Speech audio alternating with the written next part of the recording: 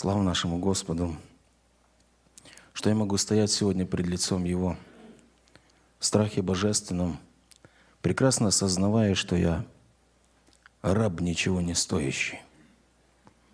А Он по великой милости и любви сохранил мне жизнь, даровал здоровье и силы и указал дорогу, ведущую в вечность, а не в погибель. Я родился на Украине, в городе Кривой Рог, в семье, в которой никто никогда не читал Библию, никто никогда не молился, и никто из моих ближайших и дальних родственников никогда не посещал никакую церковь, никакой деноминации. С моей стороны все были коммунистами, с маминой с папиной стороны. А отец закончил высшую партийную школу при Академии общественных наук в Москве и был профессиональным лектором, атеистом – то есть тем человеком, который ездил теперь уже по моей стране, Украине, со своими безбожными лекциями, уводя тысячи людей от Бога, говоря о том, что Бога вообще нет, и что это выдумка людей. Надо же в кого-то было людям верить. В такой семье я появился вторым ребенком в этот мир. Есть у меня старшая сестра. Мама была заучем в школе, преподавала математику, физику – как только я родился, я начал петь. Было неудивительно, что маленький мальчик, появившийся в этой семье, хорошо стал петь, потому что в моем родстве практически все хорошо пели. Когда я начал петь, не помню точно, сколько Бог дает мне памяти, столько я помню, что я пою. Думаю, что запел первую песню прямо в роддоме, когда появился в этот мир. И с тех пор стал петь дальше. Думаю, что эта песня была плачевной. Самым большим почитателем моего таланта был мой дед, который за каждую выученную мной песню давал мне рубль. Это были большие деньги. В то время, по крайней мере. Поэтому благодаря моему деду я выучил достаточно много песен к пяти годам, и к пяти годам обанкротил деда, а затем и бабушку, у которой он стал занимать деньги. В пять лет я вышел на сцену первый раз официально – а в 7 лет я занял первое место на Украине как певец. А в 8 лет я оказался в Москве. Тогда все лучшее было принято забирать в Москву. Этим лучшим оказался почему-то я, и не осознавая того, оказался в Москве. Мои родители, как и многие родители сегодня, желают своим детям самого лучшего, самого прекрасного. Мои родители тоже не были исключением. И они посчитали, что их сыну будет лучше учиться в Москве, в престижном учебном заведении, чтобы у него была большая, а главное широкая дорога. Жаль, что не знали, что в погибель, а не в Царство Божье. И я пошел по этой широкой дороге, которой шагала вся страна, и мы даже пели песню «Широка страна моя родная». И другую пели песню «Нам песня строить, вам жить помогает». Помните? И действительно, весь народ строил, а они жили – мне пришлось учиться в Московском государственном хоровом училище имени Свешникова, приобретать профессию дирижер хора. В 8 лет я начал учить дирижирование, а с 10 лет начал дирижировать хором. Мне пришлось быть солистом хора мальчиков этого училища. Мне пришлось петь действительно те песни, которые сказал брат Константин.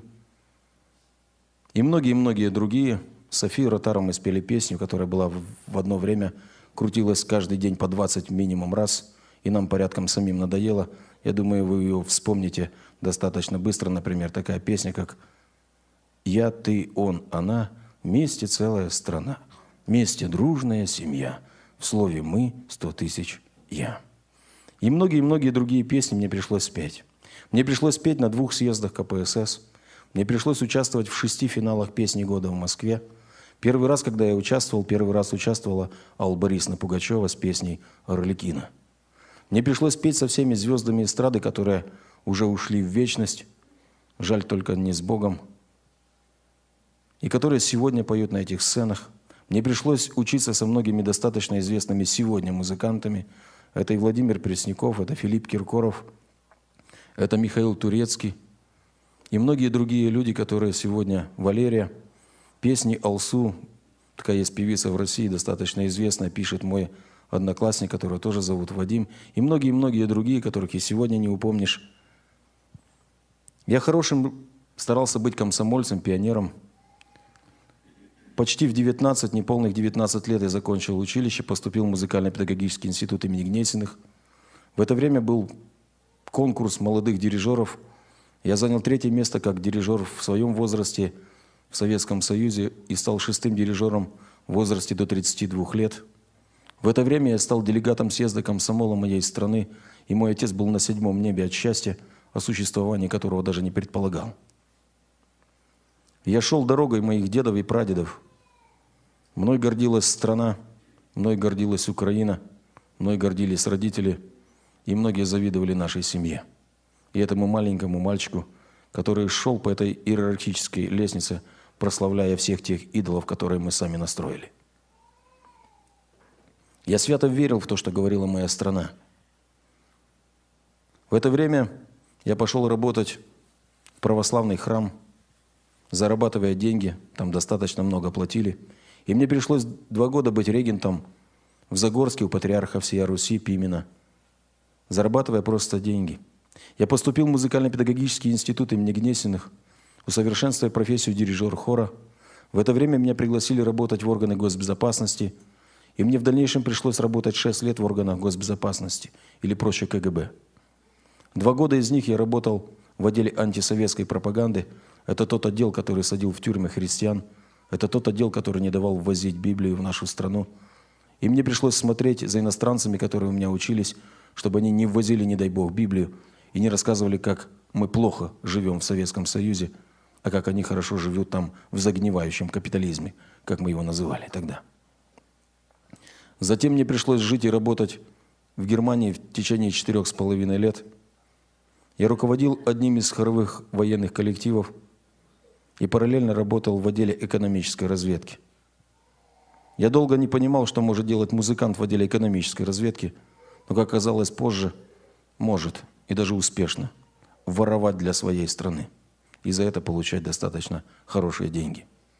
В то время одним из моих начальников был Владимир Путин, бывший президент, я думаю, будущий президент России – в 24 года, видимо, хорошо воруя для своей страны, я получил награду от первого президента Советского Союза Михаила Сергеевича Горбачева. В это время моя страна решила, что она имеет полное право на всю мою дальнейшую жизнь. И моя страна выбрала мне спутницу жизни. Это была гражданка Германии. Так выбрала моя страна, которая работала в такой организации, как Штази – то же самое КГБ, только в ГДР. И моя страна решила, что она имеет полное право руководить всей моей сознательной и бессознательной жизнью. Я отказался выполнять это задание своей родины, вообще не понимая, почему она решила, что она имеет на это право, честно говоря. Два месяца моя страна решала, что сделать со мной. И решила. Моя страна решила, что я должен буду отработать на урановой шахте в течение шести лет. Я отработал пять с половиной лет на урановой шахте. На глубине почти один километр. 920 метров. Отработал взрывником, что еще в 10 раз опаснее. На моем рабочем месте радиация превышала норму в 27 раз. Мы сегодня беседовали немножко с одним братом. Он говорил о Чернобыле – я не знаю, понимаете ли вы, что такое радиация превышает норму в 27 раз. Но это примерно то же самое, что сесть на атомном реакторе в Чернобыле и просидеть там пять с половиной лет. Поверьте, я сегодня очень, очень благодарен Богу, что могу стоять собственными ногами на земле, иметь семью и растить детей, здоровых детей. Я понимаю, что в этом моей заслуги абсолютно никакой нет. Если бы не Бог, и вы бы фанили тут рядом со мной, зашкаливали бы. Удивительно сделал Бог в моей жизни. Мои проблемы, да и проблемы другие, государственные проблемы, видимо, повлияли, повлияли в лучшую сторону. И однажды мой отец взял Библию в руки, о которой около 30 лет говорил, не держа ее никогда в руках. И эта прекрасная книга перевернула его жизнь. И в одном из дворцов культуры он преклонил свои колени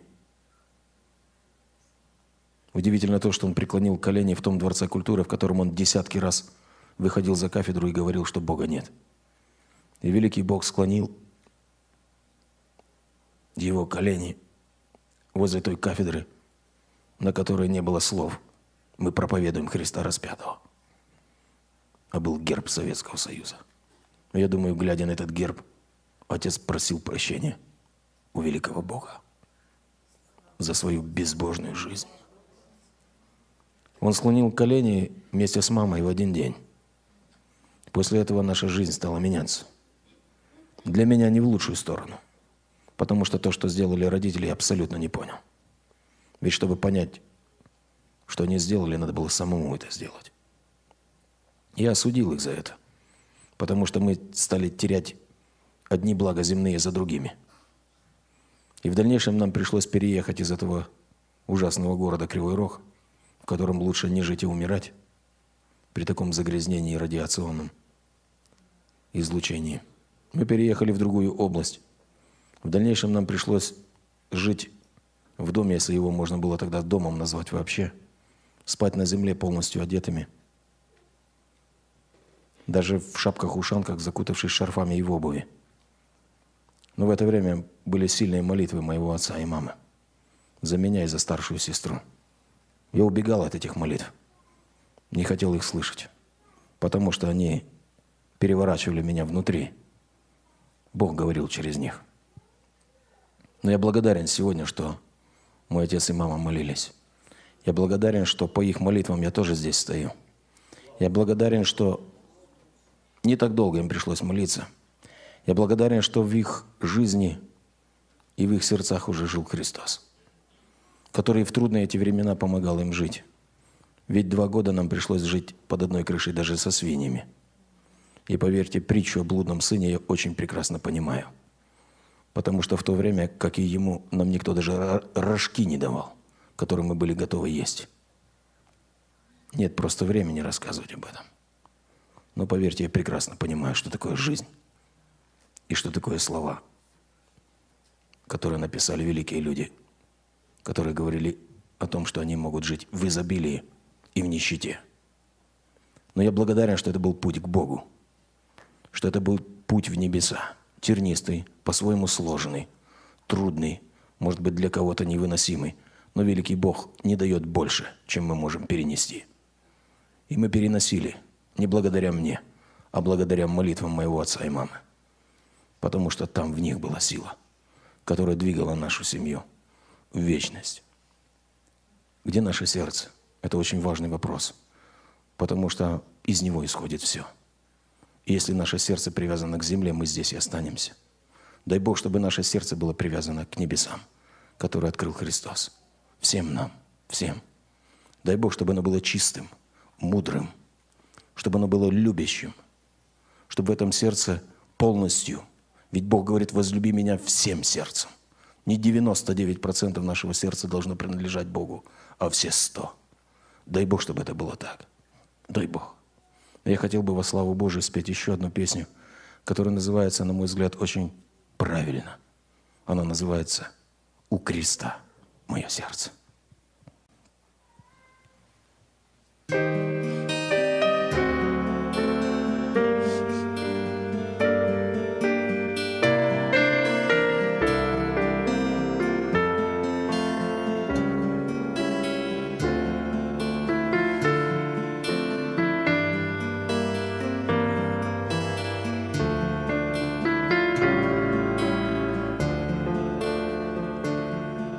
креста положу Мое сердце, как розу.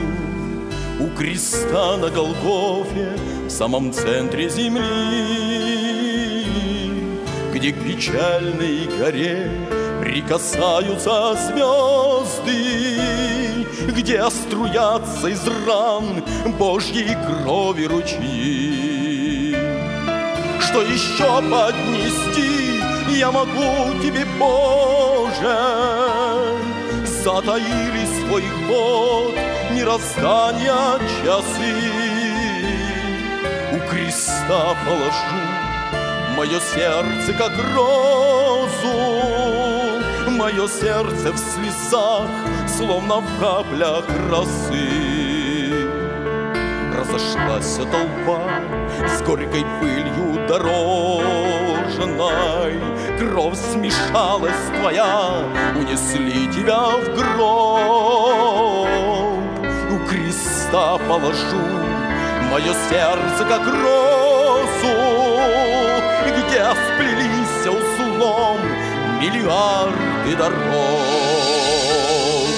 Не растопчет никто этот дар сокровенный, Не заденет крылом, налетев воронье.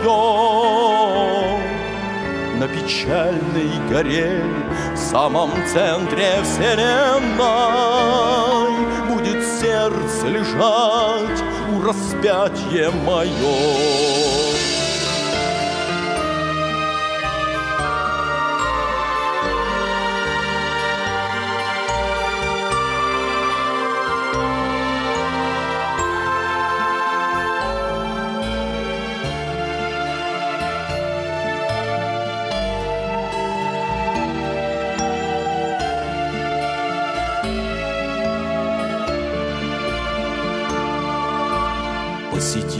Друзья, это скорбное место, Где парят над землей, над вселенной кресты. А когда в мир придет царь во славе воскресший, Он поднимет с земли дорогие цветы. Мой Господь дорогой, Ты мне жизни дороже. Мой Господь дорогой, в мир скорее гряди. И пронзенной рукой подними мою розу. Мое сердце, Господь, положи на груди.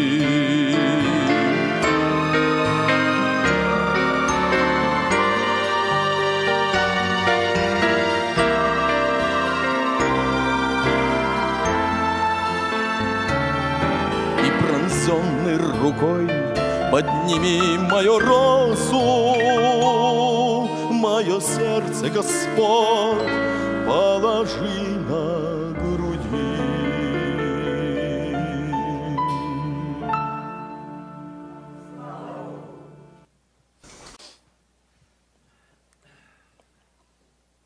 Однажды, 21 июня 97 года, в наш дом приехал как Библия часто говорит, человек Божий. Не называя имени, фамилии человека, а еще раз, еще раз показывая величие, милость, любовь и всемогущество Бога. Он приехал, это был пресвитер одной из областей сегодня на Украине. Сегодня это мой очень хороший друг и брат, духовный наставник, с которым мы были в Киргизии – церкви у Константина и проводили эти благословенные служения. Он зашел в наш дом, провел такое общение, не служение, пообщался с нами, спел несколько песен прекрасным басом, в простоте объяснил Евангелие, а затем, просто глядя в мои глаза, задал всего лишь один вопрос. Он спросил меня, «Вадим, скажи, а что тебе мешает прийти к Богу? Вот что тебя держит, чтобы ты не обратился к Нему? И чуть-чуть поразмыслив добавил, ты мне можешь не отвечать, сказал он. Ответь не мне, ответь Богу. Сегодня я безмерно благодарен Господу, что Он дал возможность в тот момент подумать. Подумать. Поверьте, я немного уже представляю, какая жизнь в Америке – немного представляю.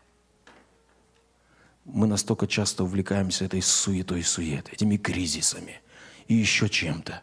И как сказала одна бабушка на Украине, она сказала, сынок, скажи, вот то, что там идентификационный код ставят, вот это то 666? А я спросил, бабушка, а сколько вам лет? Она говорит, 84. Я говорю, и вы, вы вот этот код этот ждете? Да выглядывайте Иисуса Христа. Ведь мы его ждем, не так ли, братья и сестры? Я благодарен Богу, что Он мне дал возможность подумать. Подумать. Ведь то зло, которое ходит за нами, даже за христианами, даже за крепкими христианами, хочет, чтобы мы думали обо всем угодно, о чем угодно, но только не о своей бессмертной душе. И куда она идет. Я благодарен Богу, что я начал думать. Я думал, что я сейчас начну перечислять все то хорошее, что меня держит, чтобы не обратиться к Богу. Я думал, сейчас начну загибать пальцы. Но прошло время, я так и не смог. А прошло еще немного времени, и в страхе божественном я понял, что ни один палец на моей руке никогда в жизни не согнется по той простой причине, что все хорошее – это Бог. 21 июня 97 года в этот день я пал на колени на эту грязную глину, которая была в моем доме. Мне было абсолютно все равно, куда падать. Ведь я падал не ногами своими, не коленями. Сердцем своим падал. Перед Богом. В этот день стала на колени моя жена. За год до этого события мы поженились. Мои родители радовались, наконец-то их сын в 32 года решил жениться. Они радовались, что будут сваты, как у нас говорят на Украине, хотя бы с кем-то можно будет поговорить в этом селении, ведь никто с нами не разговаривал. Но за два месяца до свадьбы ее родители выгнали ее из дому, посчитав, что она выходит замуж за штунду, которым я тогда еще не был. Два месяца она пожила у тети, которая ее приютила. Потом мы сыграли свадьбу, на которой не было ее родителей. И она пришла к нам жить домой. Четыре года ее родители не общались с нами – и хотя великий Бог по милости своей подарил к тому времени нам двоих дочерей, за четыре года они ни разу их не назвали по имени и никогда не держали на руках. Я до сих пор не могу понять, честно говоря, как же можно относиться к своим детям и внукам. Зачем рожать, чтобы так жить? Зачем? Мы четыре года за них молились и сейчас молимся. Она в тот день стала со мной рядом на колени. Рядом с ней на колени стала моя старшая сестра. А рядом старшей сестрой старшая ее дочь. А рядом старшей дочерью тетя моей жены. И рядом с тетей моей жены в тот день стала на колени свекровь моей родной сестры. И наша домашняя церковь за один день утроилась. Это был великий праздник. Великий. Я знаю, и там был великий праздник. Знаю, не видел, знаю. Но я видел и знаю, что было дома у меня. Я обнимал своего отца. Я плакал. И он плакал. Я думаю, он больше плакал, чем я. Потому что в тот момент он больше и глубже понимал, что все-таки в жизни своей сделал его собственный сын. Ведь он лучше видел Бога и лучше слышал его. Через две недели мы принимали крещение в моей родной церкви, Винницкой церкви. В тот день вместе с нами принимало крещение – 241 человек. 21 семейная пара. Моя жена была на восьмом месяце, и через месяц у нас должна была родиться дочь. Так что крещение мы практически втроем принимали. Мы искренне радовались, что наш ребенок родится не в коммунистической семье, а в христианской. Великая разница, великая. Мы молились еще первыми нескладными молитвами чистым сердцем, с первой любовью, взывая к Богу, чтобы наш ребенок, наша Алинка, первая наша дочь, родилась 29 августа. Нам очень так хотелось. Врачи сказали нет. Даже 30-го нет, сказали они. Кто такие врачи? Люди. А кто такой Бог? А Бог сказал «да». И наша первая дочь родилась 29 августа. На мой же день рождения – такой подарок сделал нам великий Бог. Через два года у нас родилась вторая дочь Юлечка, и она родилась тоже на мой день рождения. Три года назад у нас родилась третья дочь Софийка. Мы знали, что она не родится на мой день рождения, но, задаив дыхание, думали, на чье же. Она родилась на день рождения дедушки. И мы поняли, что он сильно молился – Почти ровно год назад родился у нас сын. Мы его назвали Даниил. Он родился 21 ноября на день рождения моего лучшего друга, пастыря одной из церквей Сакрамента. Было два варианта, как назвать его, Даниил или Тимофей. И то имя, и то имя мне нравилось и нравится сейчас. Но мои девчата решили, что будет Даниил. А мой друг из Сакрамента сказал, Вадим, ты правильно начал, ты начал с Ветхого Завета –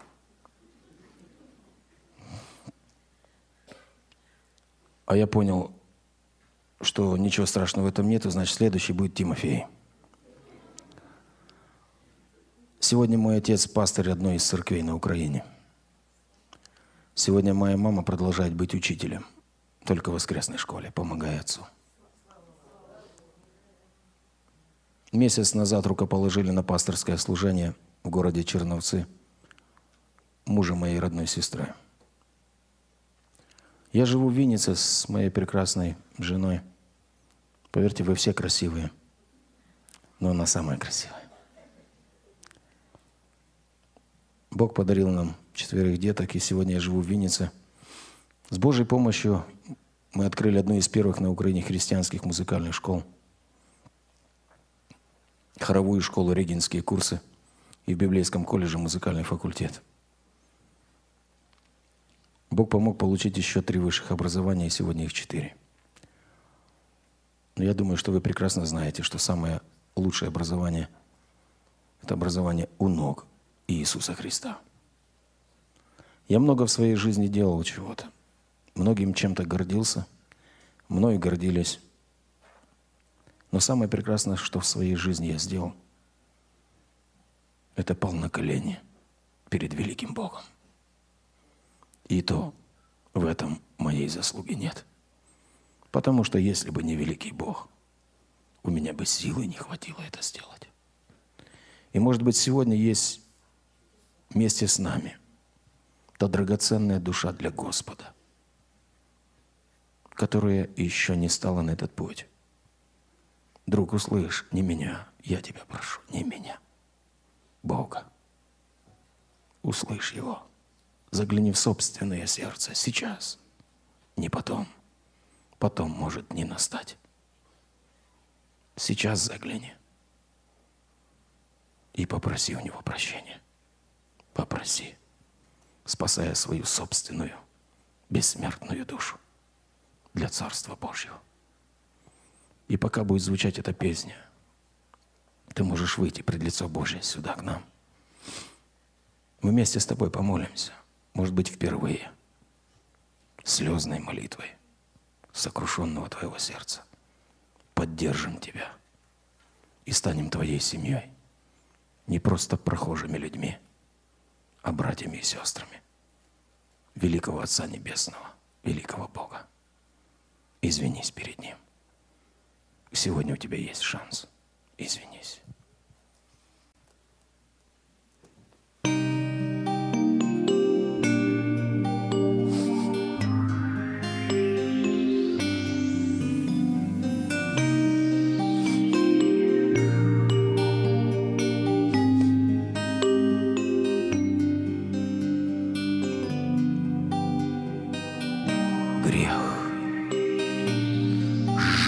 Огнем душу мою. Смерть стоял пред нею, я в строю. Ты открыл мне мир своей любви для новой жизни оживи и кровью все грехи омыл грехи омыл. Прости за то, что ты меня искал. Прости, что я не слышал и страдал. Прости за песни и за стихи что были спеты во грехах. Прости. свет. Увидел свет я пред собой мир, какой прекрасный мир с тобой. Дал радость жизни на земле, Теперь Христос живет во мне, И в каждом дне иду к Тебе, Мой Бог, к Тебе. Прости за то, что Ты меня искал.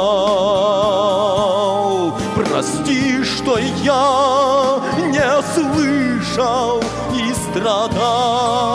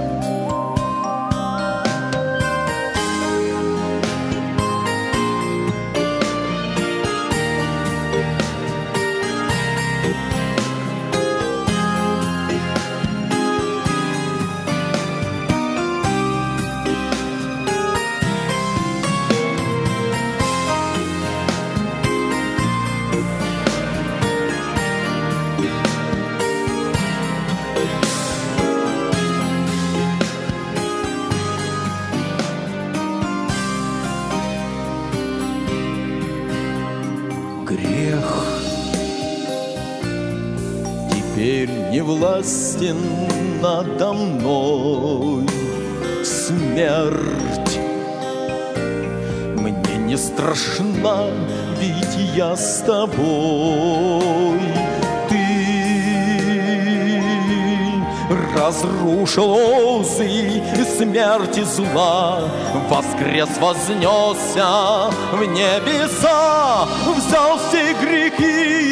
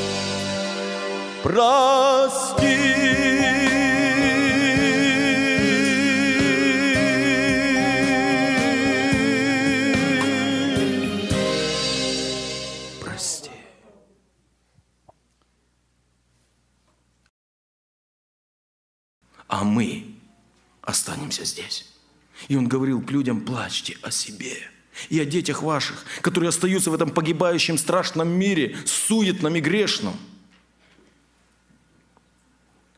Вторая категория людей, которая здесь написана, написана в 35 стихе.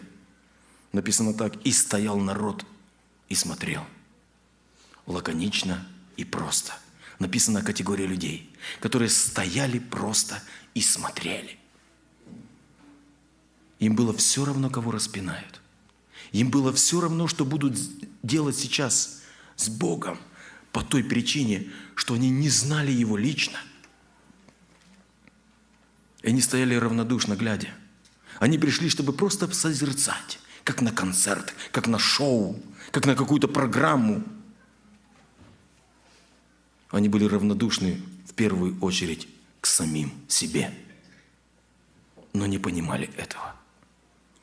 Однажды в Великую Отечественную войну бывший следователь пошел воевать. И в войну он потерял своих двух малолетних сыновей и жену. И не мог после войны найти.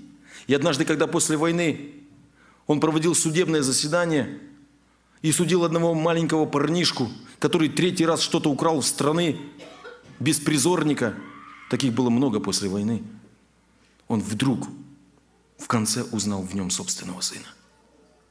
Ему, как судье, нужно было выносить приговор. А как отец, он был готов встать на его место. и отсидеть в три раза больше, чем дано этому парнишке. До того момента, пока он не знал, что это его сын, ему было абсолютно все равно о судьбе, о дальнейшей судьбе этого парня. Но только он знал в нем сына. Он был готов стать за него в проломе. Эти равнодушные были равнодушны к судьбе Бога по той причине, потому что они не знали Его лично.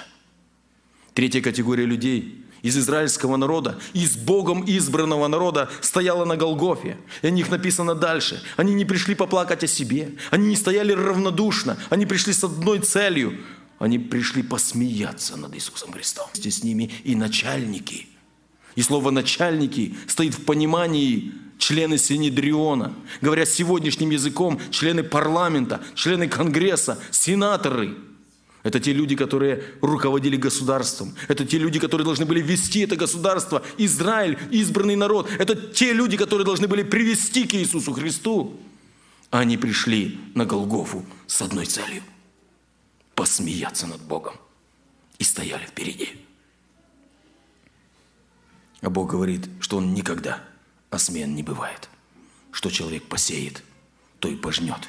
И великий Бог говорил о них, о таких людях – которые говорили красиво, но не жили вот здесь, в сердце своем. Четвертая категория людей, которая здесь написана, пришла не чтобы поплакать. Они пришли не чтобы просто постоять и посмотреть, как на шоу. Они даже пришли не чтобы посмеяться. Они пришли с одной целью. Они пришли истязать Иисуса Христа. Матфей, описывая эти события, говорит, что они надели на него терновый венец и били палками по голове. И этот терн пронзал его черепную коробку. И медики утверждают, что если бы это был не Бог, а человек, он бы умер. Но ему нужно было умереть там, на Голгофе. Он должен был дойти туда, изнеможенный, избитый, оплеванный, израненный, еле живой.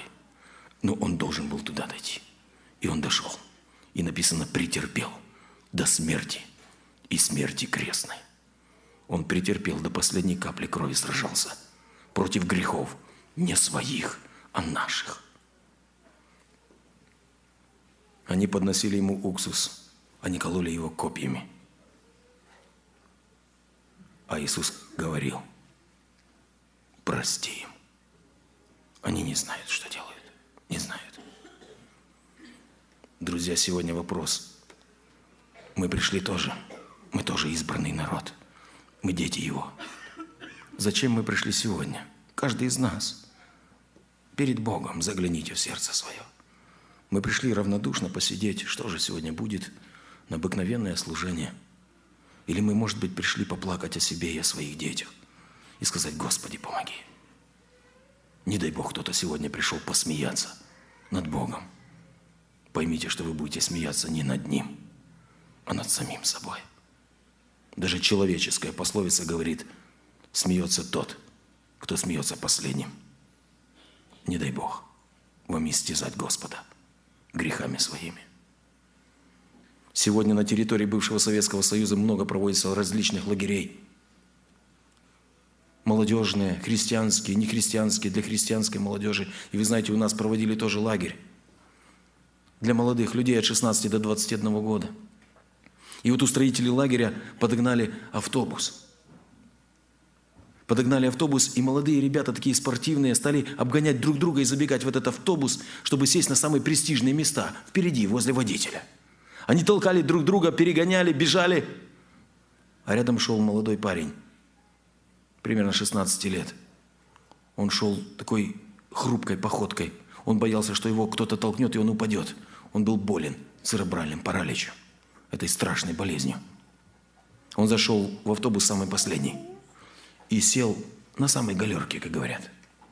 Автобус приехал, и как только приехал автобус, устроители сделали так, что поставили столик, и каждому, кто выходил оттуда, давали шоколадку. Все снова стали обгонять друг друга, толкаясь. Эти спортивные ребята и девчата, выбегая наперед и забирая каждый шоколадку. Этот больной церебральным параличем вышел последним – невнятной походкой, пошатываясь дрожащими руками, он подошел, а ему не досталось шоколадки. Видимо, кто-то две ухватил из этих спортивных ребят. Он протянул руку и дрожащим голосом произнес. «Я, ты, ты тоже хочу». Ребята и девчата услышали, как он это произнес, и стали, передразнивая его, повторять «Я тоже хочу». И это стала крылатая фраза на протяжении всего этого лагеря. Они бегали, часто кричали друг другу «Я, я тоже хочу». И вы знаете, когда закончился этот лагерь, устроители собрали вот так вот, как нас сегодня, этих молодых спортивных ребят и девчат – и устроитель лагеря вышел к микрофону и спросил, скажите, может быть, кто-то хочет поделиться, как он здесь провел время? И молодые ребята и девчата один за другим выходили к микрофону и рассказывали, как они хорошо провели здесь время, как они купались, как они загорали, как они играли в волейбол и в другие игры. И когда уже наговорились все вдоволь, устроитель лагеря сказал, ну, может быть, еще кто-то хочет что-то сказать. На самой галерке поднялась трясущая рука. И парень, больной церебральным параличем, произнес – я ты тоже хочу. Все замерли. Он вышел, хрупкой такой походкой, покачиваясь, к микрофону, взял микрофон и произнес. И я люблю Иисуса. И Иисус любит меня. И вы знаете, один за другим эти молодые спортивные ребята и девчата стали выходить на сцену, падать на колени и просить у Бога прощения. Многие из них стали в дальнейшем директорами школ, проповедниками, деканами – пасторами. И когда их спрашивали, что изменило вашу жизнь, они всегда повторяли всего шесть слов. Больного церебральным параличем перевернули всю мою жизнь. Друзья, любим ли мы Иисуса Христа? Я думаю, что любим. Я хотел, я хотел еще обратиться друг. Мы бы хотели, чтобы ты был не другом, а братом. А кто-то, чтобы нам стал сестрой. Любишь ли ты Иисуса Христа? Плачешь ли ты о себе, о своих, может быть, детях и внуках? Стенаешь ли ты в своем сердце? Если да, сегодня Бог привел тебя сюда. Есть время. Есть. И ты можешь выйти в любое время. В любое время. Мы помолимся о тебе. Братья и сестры, давайте и сейчас склонимся и тоже помолимся нашему великому Богу. Прославим Его в наших молитвах. Аминь.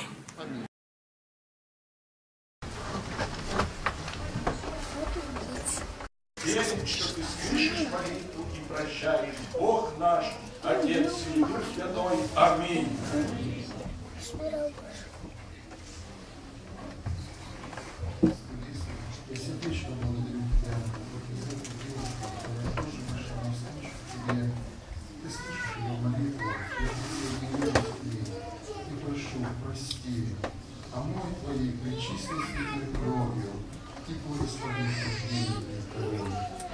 Аминь. Аминь.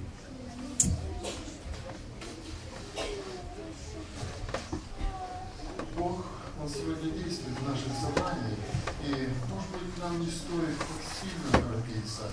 Я предлагаю, давайте мы сейчас тоже будем со вниманием слушать пение, и еще с большим вниманием будем слушать, мы не предлагаем.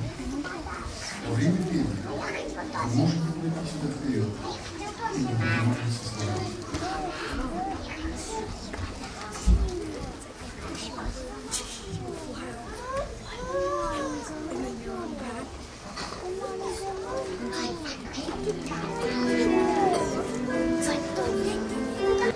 Господи, как краток путь земной.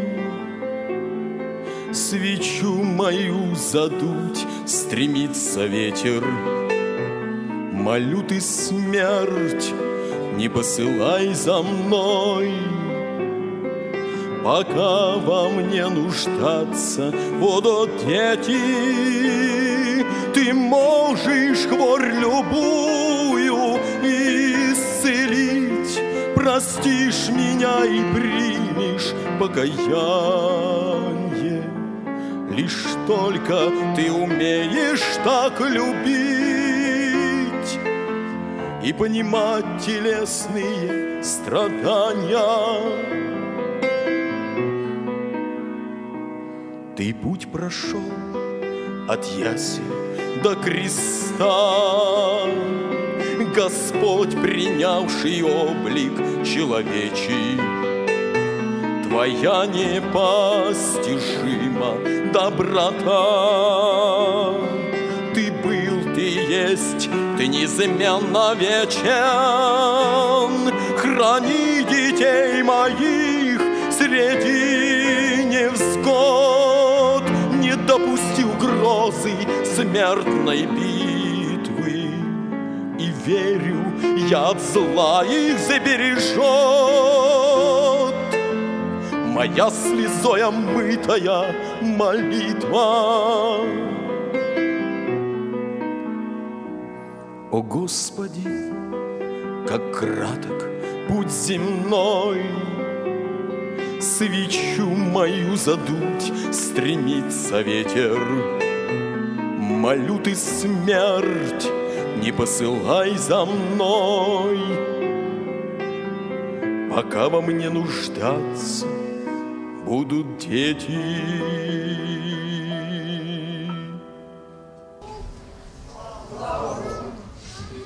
Итак, служение наше подошло к концу.